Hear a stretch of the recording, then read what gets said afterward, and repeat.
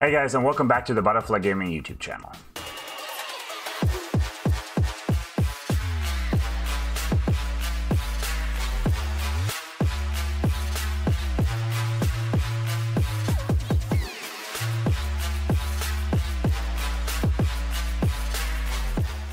I hope you guys having an amazing day. My name is Luke, by the way, if we have not met before from the content creator channel German Luke. And in today's video, I want to show you Streamlabs OBS. With Butterflie Gaming growing as an organization and more and more players coming in and looking to record their gameplay or even stream on Twitch, for example, Streamlabs OBS is a crucial software. While you can do a lot with Streamlabs OBS, today I just want to cover the basics so that you are ready to go ahead, put in your game, record it, and then experiment with whatever customization you want to do.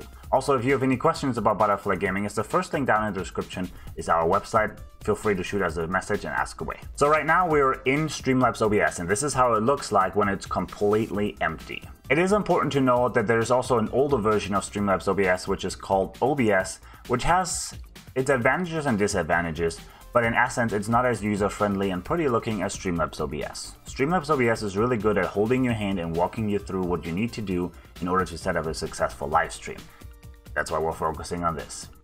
The first thing you want to do once you open up Streamlabs OBS is go to the bottom left corner, go to settings, and if you are a streamer, you can now link your stream profile. So either YouTube, Twitch, or Facebook, whatever you want to stream on. You just simply link your profile, and then once you hit the go live button, you will be live. After you linked your profile, go over to the output version. The output version is what in essence the viewer or even in a YouTube video you will see later on. If you're completely new, you can leave this on simple, but I would highly recommend you that you go to advanced. In terms of streaming, don't worry about the audio track. If you have an NVIDIA graphics card, always go for the NVENC encoder because it takes your GPU to encode the video instead of your CPU, which is always beneficial. And then when it regards to bitrate, you have to look up whatever bitrate is used on your platform in order to stream in 1080p 60 FPS. For example, Twitch caps the CBR, which is the constant bitrate, at 6000 bits per second. 6000 bits per second equals 1080p 60 FPS on Twitch. This might not be the case for YouTube or Facebook, so go over to YouTube and Facebook and look up whatever bitrate they require in order to stream in HD. Also, the bitrate is important to notice that it's dependent on your internet connection. If you only have an upload speed of 2 or 3 megabytes per second, you cannot stream in 6000, because 6000 is in essence a 6 megabytes per second upload speed. So go over to Google, do a speed test on your internet connection, do it at various points throughout the day because it does vary slightly depending on the time of day and the internet usage, and then go from there. Anything else down here, if you have a pretty decent PC or if you're even streaming from your console and you're only using the PC in order to put up the stream, you can put these on the highest settings that you like. But what most important is probably recording. You can use Streamlabs OBS to record your gameplay. And this is pretty simple as well. Choose your path that you want to record the video to where it's saved out to the end and then record the format that you want it saved in. You can do MOV or MP4, MKV, I personally had the best experience with a MOV or an MP4. MKV did not work for me and FLV, that was a no-no. In essence, every GPU by NVIDIA has a separate core dedicated to encoding. So if you are not encoding with your GPU, your GPU is actually not using that core at all. It cannot use the core for anything else but encoding. So if you have a GeForce graphics card in NVIDIA, RTX, GTX, whatever, use your NVENC encoder. It takes all the workload off your CPU, especially if you have an Intel CPU, which is not that great at multitasking. I would highly recommend. You are missing out on a lot of FPS. And then for recording, your bitrate obviously is not tied to your internet speed anymore. So here, do 10,000. 10,000 is more than enough to make sure that it records everything in 1080p 60 FPS. And then leave the rest the same. The last important thing, unless you're trying to mix audio on stream, this you don't have to worry about. But now it comes to video. Your base canvas resolution, obviously what your monitor is in, 920 by 1080, and then whatever you want to stream it out as. I want to stream a 920 1080 to a 920 1080 so that the viewer gets the same scaling. If you have a lower end computer, you could scale this down and you could stream in 720p. That is an option. I wouldn't go lower than this though, because then it just looks eh, a little ugly. And then again, the smoothest it looks is in 60 FPS. If your PC can handle it, always go for 60 FPS. Don't go for 30 FPS. It just looks better. And those are the basic settings for Streamlabs OBS that you need. In the general tab, you can also able and disable to automatically record while you're streaming. If you're recording while you're streaming though, I would highly recommend that you are saving the recording to a separate hard drive where the game is not being pulled from. For example, if you have an SSD where your game is being pulled from, let's say C, definitely go ahead and save your video on D, maybe another SSD or an HDD. Do not go ahead and save your video on C as well. Some computers run into issues into trying to pull from a hard drive and trying to write on a hard drive at the same time. It just kind of goes to a lag and it can just mess up your gameplay. But that is it. So now we're in Streamlabs OBS. You have your settings pretty much set up. What do we do now? The basic thing to remember is it works all in layers. So go ahead and select a scene and you can name it whatever you like. For example, I'm just gonna name this test scene. So a scene, in essence, is what everything combined will look like. So now in sources, you will start layering and layering.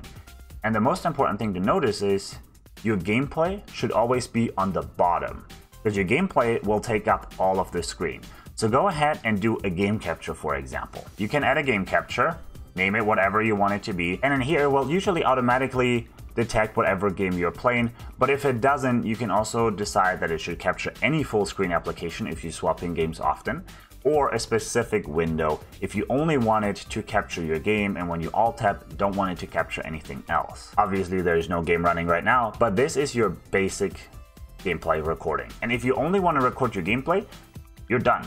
That is all that you have to do. Your desktop audio is automatically recorded if you have the right monitor set up. So if you go over here on the right to properties, you can now select whichever monitor or audio input you want it to capture.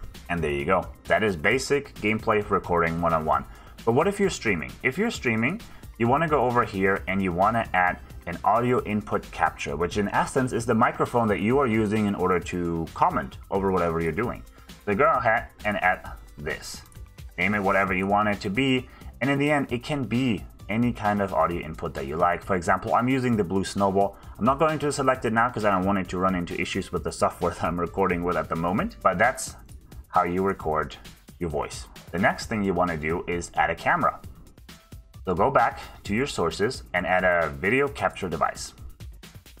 Same thing right here, name it whatever you like it to name, and then you can select whatever camera that you're using. Let's just select the Logitech, which is not turned on at the moment, and this is where the layering comes into place. So now you see, this is where my webcam would be, and you can move this around on the frame as you like. Simply select the source, and you can move the source around. But this is where I was talking about the layering. You always want your gameplay on the bottom, because you don't want your gameplay to overlap with anything else and hide anything else. For example, if I put my gameplay over my webcam in the sources down here, you now see that the webcam is gone, and the viewers would still be able to hear me because of my microphone, but they wouldn't be able to see me. So make sure that your gameplay is always on the bottom. You can now resize the webcam to whatever size you like, move it to wherever you want it to move, and there you go. Now you have a webcam, you have a microphone, and you have your game capture. But if you're streaming, you probably want a little bit more. So the one thing that you definitely need when streaming is an alert box. And you can do a lot of customization in this alert box. As you can see, you can do your own custom alerts and you can test an alert, for example, as well if you like.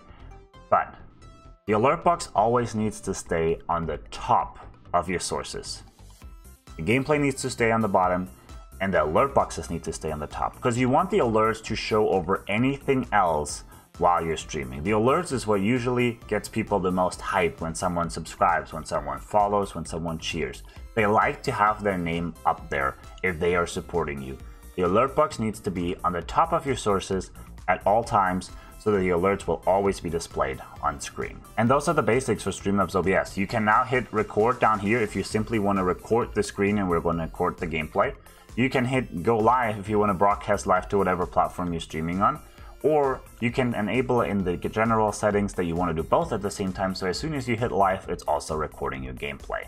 One thing to keep in mind though is if you are streaming on Twitch for example, you don't necessarily need to record your gameplay unless you want it in a completely different settings because Twitch does save your VOD, so at the end of your stream you can simply go and download your VOD if you like. And, and those are the basics.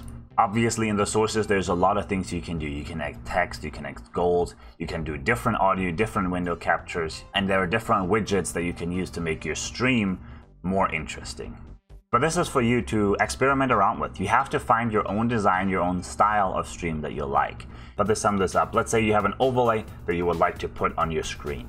Again, just add a media source. If it's an animated overlay, it will most likely be a WebM or an MP4 file. So go ahead and add a media source and it will tell you all the files that it supports. For example, OBS, where it's falling short, it doesn't support MKV. That's why MKV files don't work for me. And you have to do everything in WebM. But there you go. This is how you add your overlay. You would just add it and then select the overlay, select if you want it to loop, if it's animated, and so on. And again, your overlay would go right over your game capture. Your game capture should still be on the bottom, and then your overlay would be on top with maybe your alerts right here, your most recent follow, and all these kind of things. Remember, alerts on the top, gameplay on the bottom. And that is it guys. Those were the basics for Streamlabs OBS. How to set it up for streaming and recording for your gameplay if you want to put it into a montage, or anything like that. If you have any questions, let us know down in the comments below. If you are part of the Butterflie Gaming team, I hope this was somewhat beneficial to give you at least a little bit of an insight and start to Streamlabs OBS. But if you have any questions, you know where to reach me and I'll be more than happy to help you troubleshoot anything or help you set it up. I hope you guys have an amazing day and if you want to be part of Butterflie Gaming, Link is down in the description for our website. Shoot us a message what you can do for Butterflie Gaming, we'll get back to you as soon as possible.